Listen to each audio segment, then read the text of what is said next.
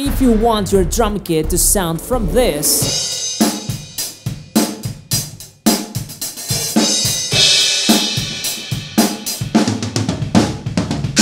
to this,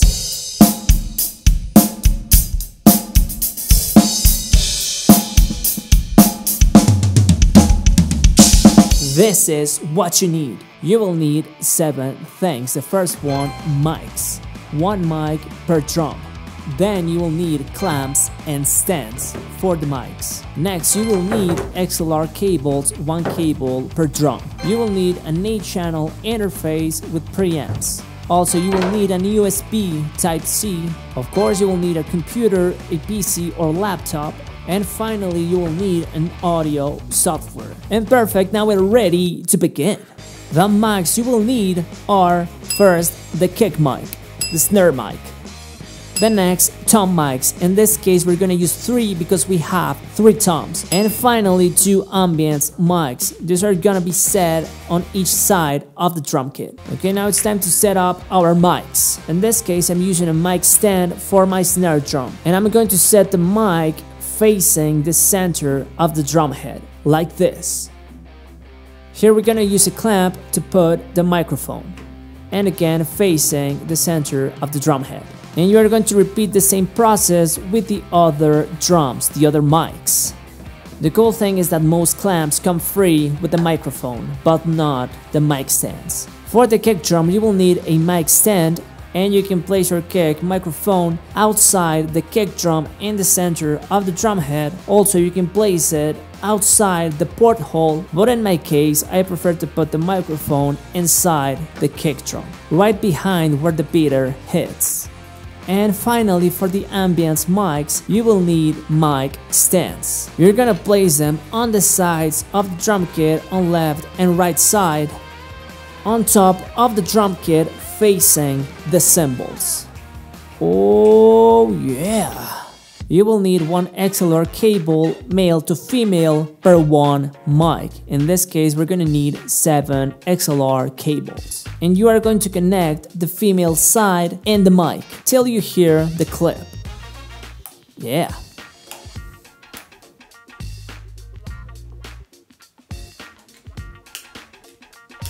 And for the kick drum, the cable will go through the porthole to the mic inside the kick. And guys,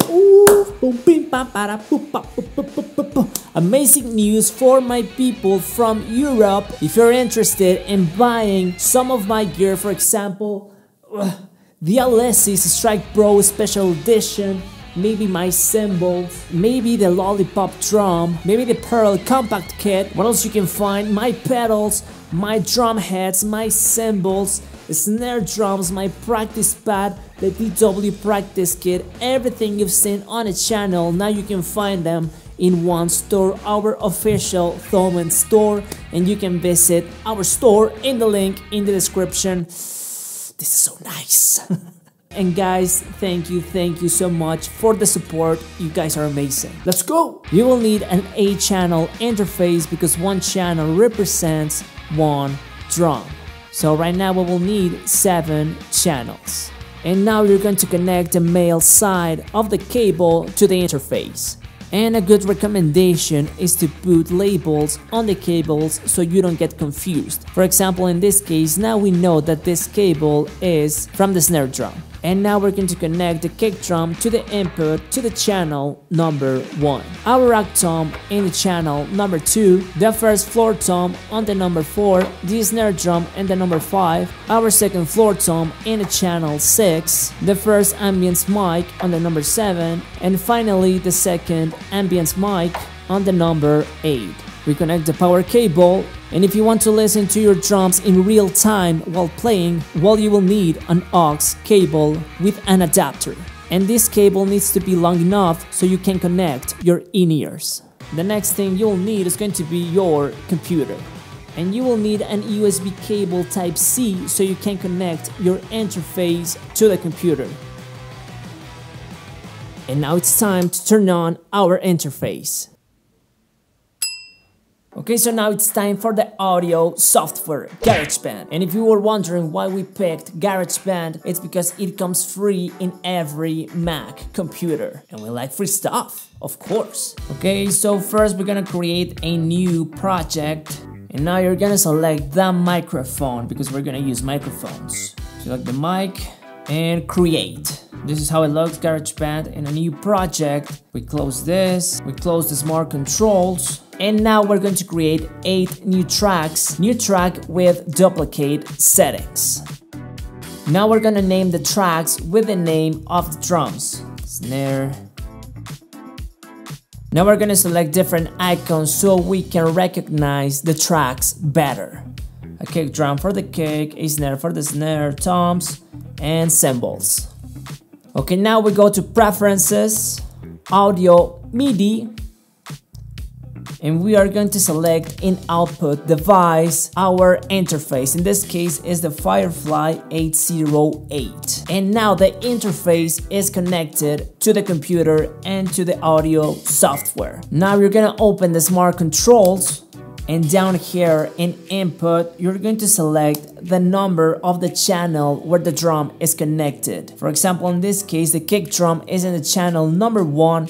We have our rack tom in the number 2, the snare in the 5, the second floor tom in the number 4, and so on. And now right click on top of the track, configure track header, and you're going to select record enable. Let's go. And okay, now the final step is to select all of the record icons in all of the tracks. And now every track is officially connected to the mics. Okay, and now you select the record icon and you're ready to record some drums.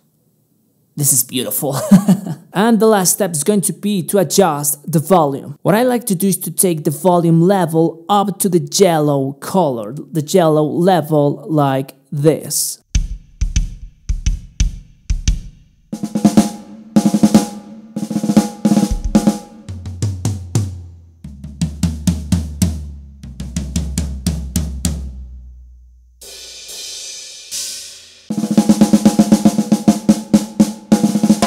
I believe that if it stays on the greens, it's a little bit too low, and if it goes to the reds, it's way too noisy, way too high. So I would say the sweet spot is the yellow level, yellow color.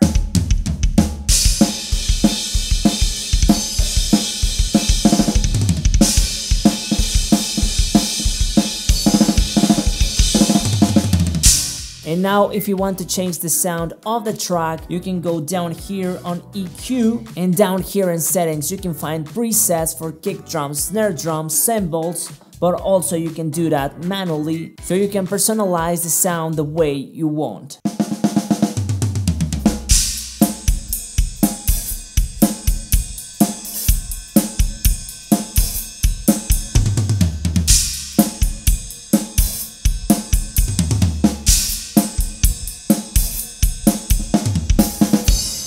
So guys, that's it. That's all. That's all you need to record drums from your house, from a studio, whatever you want. It's actually pretty easy when you understand all the things you need, what to connect and where. You know, XLR cables, interface, computer, software, the drums, where I need to connect the mics and everything. Now you know all of the steps you need to do to record drums. So now it's time for you to film some drum covers, some recordings for a band, maybe your own band, I don't know, but now it's time to record some drums drums. And guys, that's it. Thank you, thank you so much for watching, and I'll see you in the next one. Take care, goodbye.